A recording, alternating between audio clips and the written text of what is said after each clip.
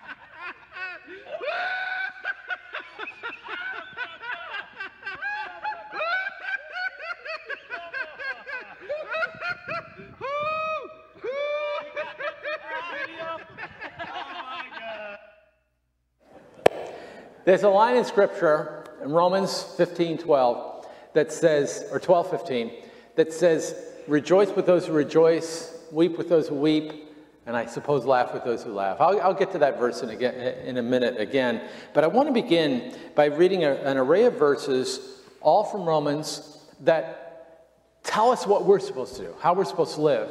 And what I want you to do is process in your head would Jesus, did Jesus do this stuff? We're supposed to do this? Did Jesus do this? Okay? So here we go. Use your mind. I'll just break it into little pieces.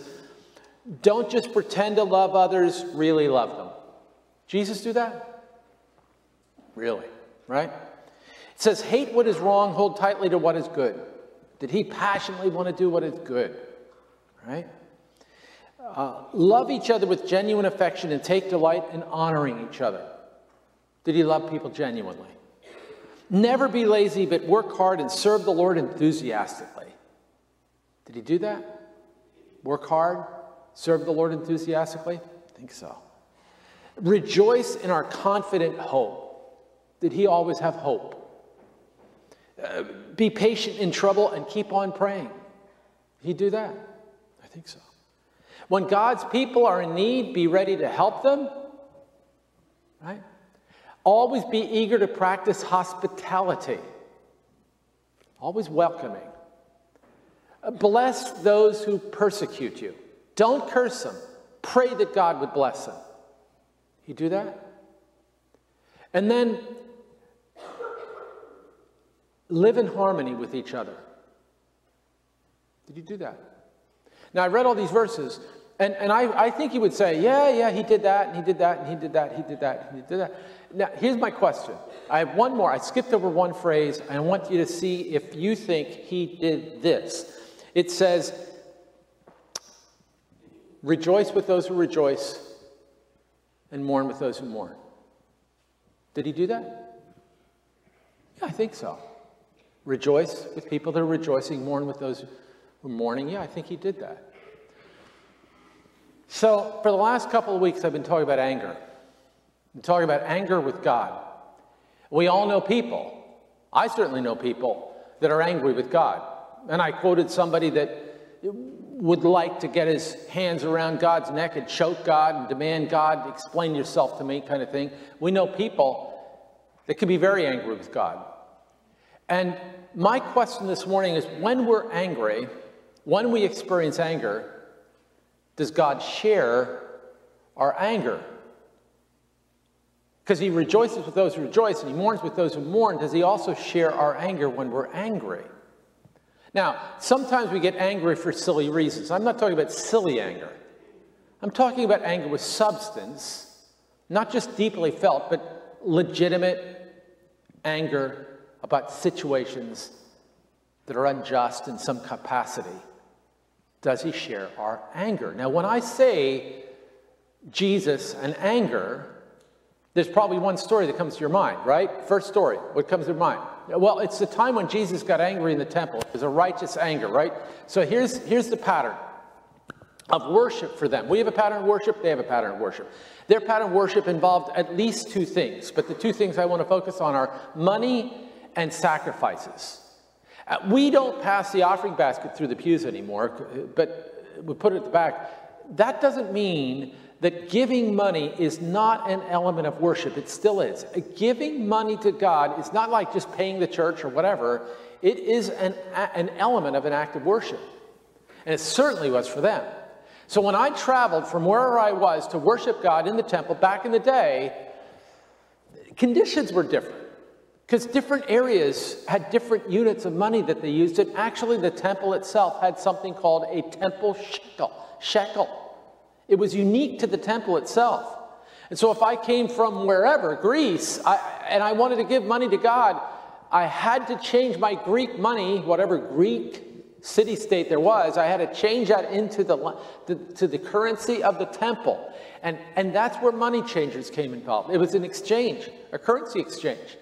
And the pain in the neck thing is, they charged exorbitant rates. Have anybody ever gone to a sports contest somewhere like the Eagles game today kind of thing? How much do they charge for hot dogs down there? Well, they, they could charge 10, well, I don't know what they charge, but they could charge $10. And we all know that you can get a whole pack of hot dogs for a couple of dollars. That's a real ripoff. That's the way this was. This was a real ripoff. So I'm coming to worship God it's not just a sports stadium. I'm coming to worship God, and they're charging exorbitantly high exchange rates. Is just unfair. Second element of worship that's mentioned or referenced in this scripture is sacrifices.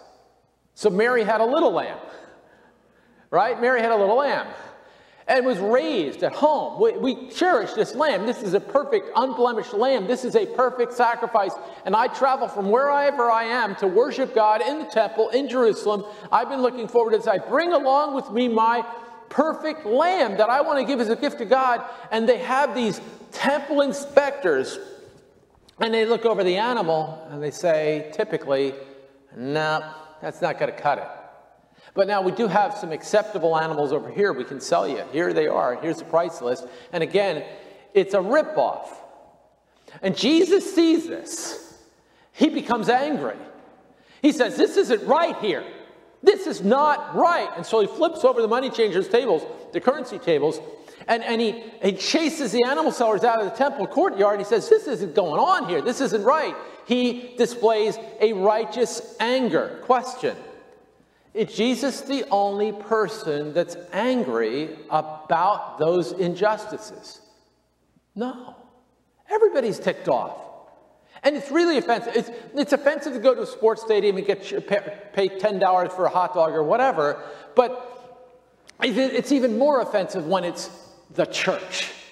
When the church, the temple, is ripping you off. It's like, in the name of God, they're ripping you off. It's really offensive. And so the people were offended, and Jesus was offended. It's just not right. It's just not right. And so Jesus rejoices with us when we rejoice. He mourns with us when we mourn. And I think, at least in that case, he's angry with us when we're angry. Like I said, I've been talking about anger for the past couple weeks, and the illustration that I used biblically last week was the story of Mary and Martha and Lazarus, three siblings who were very close to Jesus. They weren't just followers of Jesus, they loved Jesus, they were Jesus' friends. And as his friends, they thought we were tight. Mary and Martha were concerned Lazarus was sick and dying. They sent word to Jesus Jesus, hurry, come quickly. Lazarus is near death. And Jesus shows up late Lazarus has already been dead for four days by the time Jesus shows up, and they're angry, in my opinion, with Jesus. Like, what is up with this? So, Mary's so mad, I told you last week, that she doesn't even come out of the house to talk to Jesus. She stays in the house. Martha goes out to meet Jesus, and the first thing off Martha's lips is, Lord, if you had been here, my brother would not have died. What does that mean? Finger out on Jesus' chest. Jesus, you could have prevented this. Has anybody ever felt like that? Yes. Yes. Everybody here has some story you could tell, like, God could have prevented this. Whatever this is, God could have prevented it. Jesus, if you had been here, my brother wouldn't have died. A little later, Jesus says, Hey, where's Mary? Mary comes out, maybe reluctantly, I don't know, but she comes out to Jesus, first thing out of her lips. Same thing as Martha. Mary says, Lord, if you had been here, my brother wouldn't have died. And then her eyes well up with tears. And they begin to overflow. Tears started streaming down her cheeks. And you know what Jesus did next? You might say, well, he wept. Uh, that's later, not initially. Now, I'm reading out of the New Living Translation, okay? Not all versions have the same language, but some Bible scholars who put this book together had a very interesting phrase in it. Listen, Mary, Mary just says, Lord, if you had been here, my brother wouldn't have died. And then, it's, and then she begins to tear. And then it says, when Jesus saw her weeping and saw the others wailing with her, a deep anger welled up within him, and he was deeply troubled. He was angry. There's something in the original text that led these translators to say he felt anger. Now, you help me figure this out. Why in the world would Jesus be angry? Because it's his fault. If Jesus had only been here early enough, Lazarus wouldn't have died, and you got the audacity to be angry? Like, what is up with that? Like, why? Help me understand this. How in the world could Jesus possibly be angry? This doesn't make sense. Okay, let's, let's detour for that for a minute. Let's pretend, I'm going down a different path for a moment. Let's pretend I'm an inventor. And I, I invent this brilliant thing that's a lot more complex than it is in reality. This, do you know what this is? This is an M&M dispenser, okay? Does anybody have any idea why it's empty? My wife loves M&Ms. If you want to get her a Christmas gift or a birthday gift, that would be perfect. So anyway, this is, this is an M&M dispenser in our house at least. And uh, it's not very complex, but let's say it is. And I invent it. And I, and I get a patent on it. And I think to myself, you know what? I think this is going to sell. And I decide I'm going to make M&M dispensers. And I'm going to market them. I'm going to sell them all over the place. I'm going to sell these things. And so, but I don't have the money to make a, a, factory. I don't have the money to make this all happen. So I, I get a loan. I, I put my house uh, as uh, up as collateral and I say, here, give me the money and whatever else. And I take out this big loan and I make an M&M factory and it, uh, an M&M dispenser factory and it starts small, it gets bigger and bigger and bigger. And eventually, all of you are my employees. And uh, I love you all. I'm a very unique owner of a business. I really care about my employees, and I try to create, genuinely try to create a good spirit among us. So every Friday we have Hecky sandwiches. That's just everybody. Hecky sandwiches. And we, we have picnics sometimes and parties and things like that. I, I try to create, I treat you well, I pay you pretty well. It's reasonable for what you're doing. It's, it's really a good thing. And then at some point along the way, one of you, one of you, one of you has an attitude. And you begin to look at what I have taken out of the business and what you're, the pittance that you're getting paid, and you begin to think, this isn't fair. Now, I put up the collateral of my house. I've taken all kinds of, this is on my shoulders. I should be making more money than you. I'm the guy, I invented this. I, I should be making some more money, and I've been treating you fair, but it doesn't matter. You start getting a little negative. And then you start talking to somebody else. And then a group of you. And eventually, I'm not trying to go political today, but at some point you all decide you're going to unionize. And you're all in a union. And I'm in, we're not political, we're not going anywhere. I saw faces and stuff. I'm, I'm the manager, I'm the owner, operator here, and you all are unionized, and what happens? All of a sudden, the dynamic that we had before, the relationship we had before, the, the, the, the sandwiches on Fridays, and the, it's, it's just starting to go away, and there's hostility and distrust, and it's just not the same. It's not the same. And it, it breaks my heart. This is not the company I wanted to create. This isn't the way I wanted it to go. And the hostility, it's just, we were a family and we're not a family anymore. We're just not a family. It's not right. The very beginning, when God created this game of life, he had a beautiful idea. His idea was I'm going to create this business, I'm going to create this game, I'm going to create this company, I'm going to create this life, and, and we're all going to get along, and we're going to have unity with nature. It's just going to be a beautiful experience in every conceivable way. It's going to be excellent. And, and he only put out one rule that everybody in the family, everybody in the family of life has to abide by, and that's this you can't eat of this particular tree of the knowledge of good and evil. You can't, everything else is fair game. We're all going to have a good life. You just can't eat of this tree. And if you do, the scripture says, if you eat its fruit, you're going to die. Now, what's the implication of that? If you don't eat this fruit, then what? You won't die. You won't ever die. Like the whole idea, the whole concept of death was not in play. Like God did not create a world where we get old. He didn't create a world that we would get diseases. He didn't create a world where there would be car accidents. He didn't create a world where there would be tragedy. He didn't get a, create a world where there would be paralysis. He created a world that was absolutely perfect. And then there, were, there was a rebellion in the ranks in the way that God ran things. And all of a sudden, this went from this harmonious, beautiful experience to something much, much less than that. That's the world that God created, and it was turning into something else. And when Jesus came into this world, he came into a world that was perverted from its original intent. God created a perfect world that was now perverted from its perfect intention to a world that was characterized much more by rebellion against him. It's not just Adam and Eve's fault, it's, it's us. All living in a sense of rebellion against his perfect, harmonious, loving, wonderful, peace giving ways. Messed up. Let me return to the passage of scripture that I'm talking about in John chapter 11. So Jesus arrives in the scene.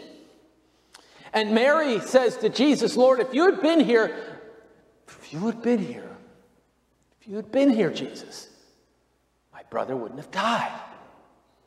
And then she starts tearing up. And when Jesus saw her weeping and saw the other people wailing with her, a deep anger welled up within him.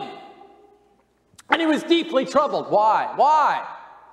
Because this wasn't the way it was supposed to be. It wasn't supposed to be this way. There wasn't supposed to be death. Now they were upset. Jesus, if you only had been here, our brother wouldn't have died. That's their level of anger. That's why they're angry. Jesus is level and angry in a different level for a different reason. Jesus is saying, This didn't have to be. Not only did Lazarus not have to die, no one had to die. No one had to have conflict. No one had to be miserable. That's what Jesus is saying. When Jesus saw her weeping and the other people weeping with her, a deep anger welled up within him and he was deeply troubled. When I read the scripture earlier, Romans 12, 15, and Jesus is happy with those who are happy and mourning with those who are mourning, I think he is angry with those who are angry about justifiable things to be angry with but maybe from a different perspective. So Jesus sees her weeping and the other people, deep anger within him, and then he says, Where have you placed him? Where's his body? It's a different tone of voice right now. See, see, Jesus laughs with those who laugh, mourns with those who mourn. Are seeing him mourn now. The softer voice. Angry with those who are angry, softer voice this time. Where'd they put him? He's mourning with her. Where'd they put him? They told him, Lord, come and see. Come and see. And then Jesus went and saw, and then it says, he wept. He weeps with those who weep and he laughs with those who laugh. And I think he gets angry with those who are angry. Watch this next line. Come and see. Jesus wept. The people who were standing nearby said, See how much he loved him. So they see that Jesus is mourning with those who are mourning. And then it says, But some said, This man healed a blind man. Couldn't he have kept Lazarus from dying? What's underneath that? What's the emotion underneath that? He healed a blind man. Why didn't he heal this guy? What's the emotion? Anger. Then it says, next line, Jesus was still angry when he arrived at the tomb, a cave with a stone rolled across the entrance. He's still angry. See, anger is a theme in this story, as well as mourning. He's still angry when he comes to the tomb, a cave with a stone rolled across the entrance. Roll the stone aside. He's still angry. Now, what does this prove? Who cares? Who cares? If you're angry about something and Jesus shares your anger, what does it, ma- what does it matter? Does it really matter to you? There's a line in Scripture in the Old Testament, the book of Deuteronomy, that says this God says, I will take revenge, I'll pay them back. In due time, their feet will slip. Their day of disaster will arrive, and their destiny will overtake them. There's, there's a line, I memorized it, the King James Version of the Bible says, Vengeance is mine, saith the Lord God of hosts. What does that mean? I'm going to make things right in the end. I'm going to take revenge. I'm going to correct wrong things. There's a line in the New Testament, in the book of 1 Corinthians, chapter 15, that says this. It's very interesting. It says this of death. How many of us like death? I don't like death. None of us like death. It says, Oh, death, oh, death, where is your victory? Because death is an enemy of us. Oh, death, Death is something that was not supposed to exist. That was the original plan when God created this company. Oh, death, where is your victory? Oh, death, where is your sting? This is written with anger. Death, get out of here. It goes on. For sin is the sting that results in death. And the law gives sin its power. But thank God, He gives us victory over sin and the death through our Lord Jesus Christ. You know what that really means? I could talk, talk, talk about that for some length of time, but I just want to cut to the chase and say this verse is saying that Jesus came to kick death in the teeth. That's what it means. Vengeance is mine, saith the Lord God of hosts. And you're angry about death, God is angry about death. And one day he's going to kick death in the teeth. And he's going to make it all right. He's going to make things right. And things aren't right right now. And so Jesus comes into the scene and things aren't right. And so when he sees Mary crying, he cries too. And he gets angry. This is what it says. Jesus was still angry as he arrived at the tomb, a cave with a stone rolled at its entrance. Roll the stone aside, Jesus told them. But Martha, the dead man's sister, protested. Lord, he's been dead for days, for four days.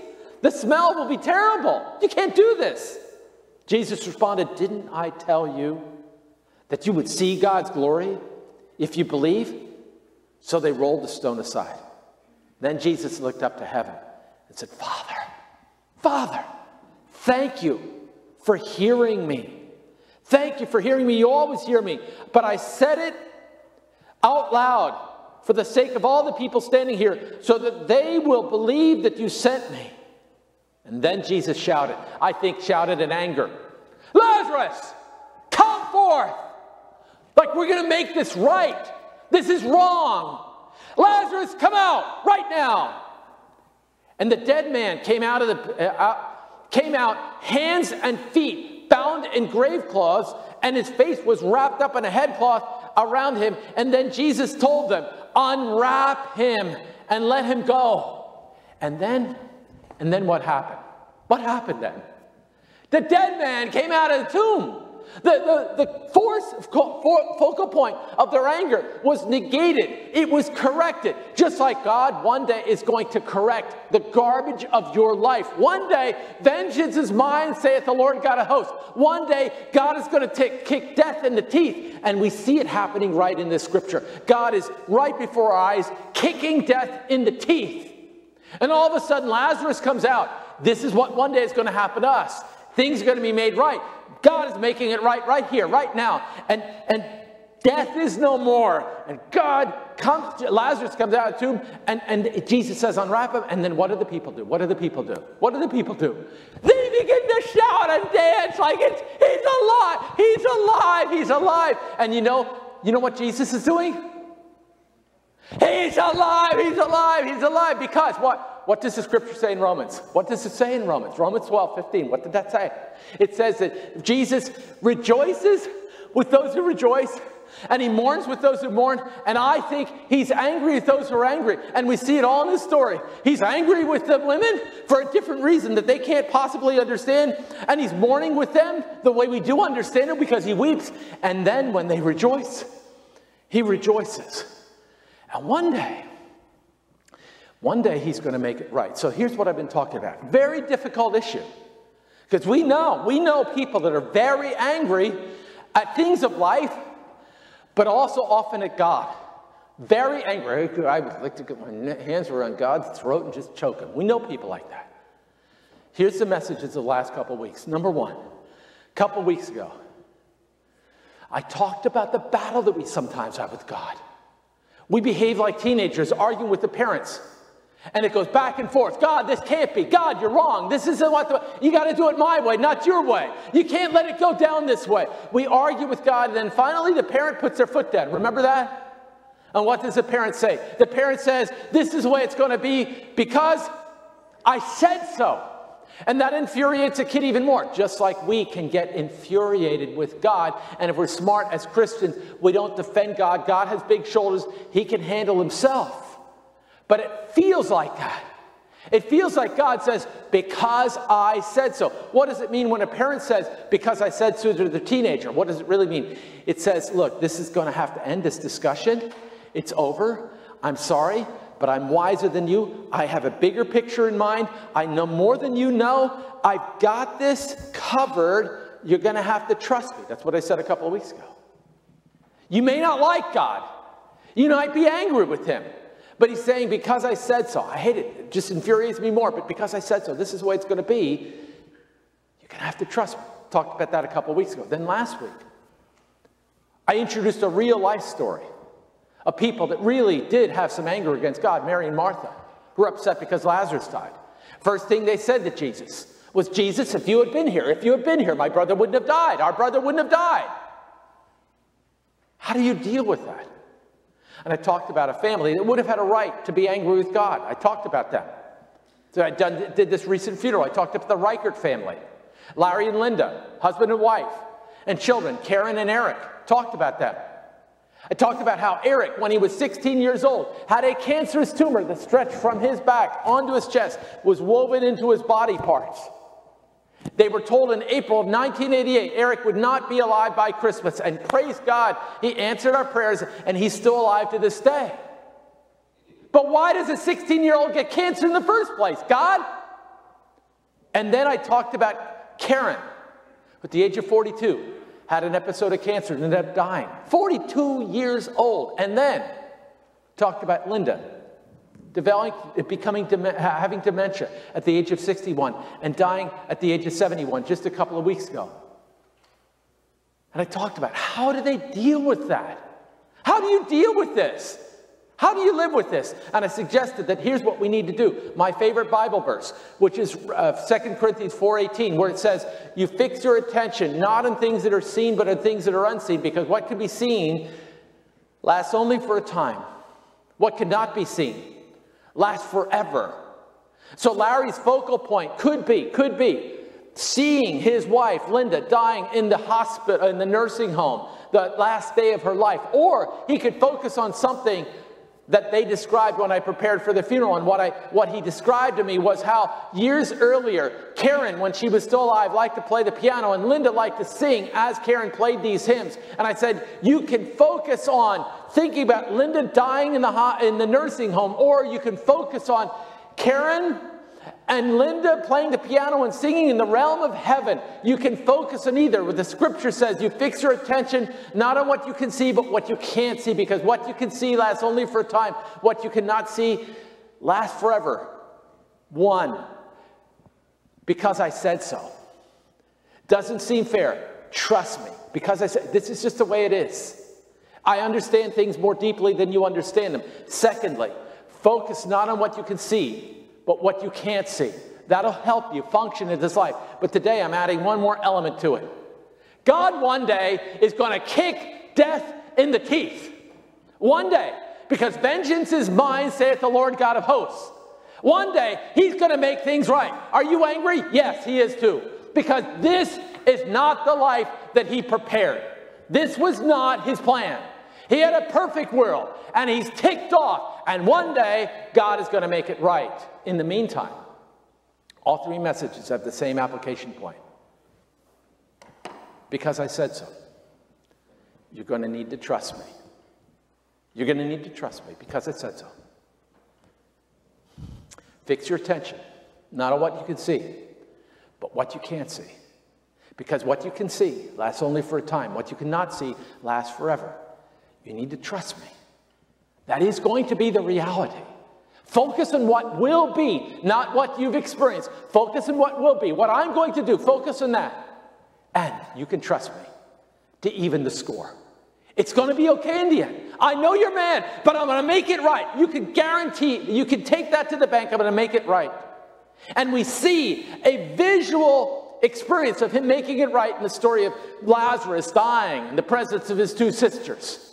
He made it right. And they jumped up and down. And one day, you and I, we're going to be jumping up and down for joy about the very things that we were so upset about because God one day is going to make it all right.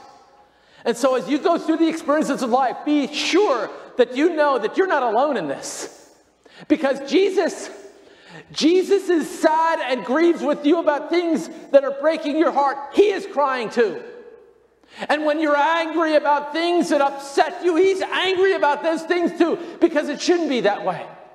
And one day, when you rejoice, he's going to be rejoicing with you. Fix your attention not what you can see, what you can't, but what you can't see. Because what I've been describing is what you can see. One day, it's going to be made right. And one day, we're all going to be rejoicing. Let's pray together. Lord God, I, I pray that you would speak to our hearts and move us by the power of your Holy Spirit and bring real, authentic comfort to us, Lord God. Bring comfort to us. We're at a loss right now, often in life. But I pray that you would comfort the people in this room and the people listening on the internet. And I pray that you would help us all, every one of us, every one of us, to suspend doubt, to lay aside the anger, and to truly trust you. And put our hope in you, who identifies with our life experiences and has a greater plan in store for us. And it's in your name that we pray. Amen. I think we're done. They abandoned me. So have a great week. It's wonderful. Go in peace. And have some uh, hot chocolate and cookies.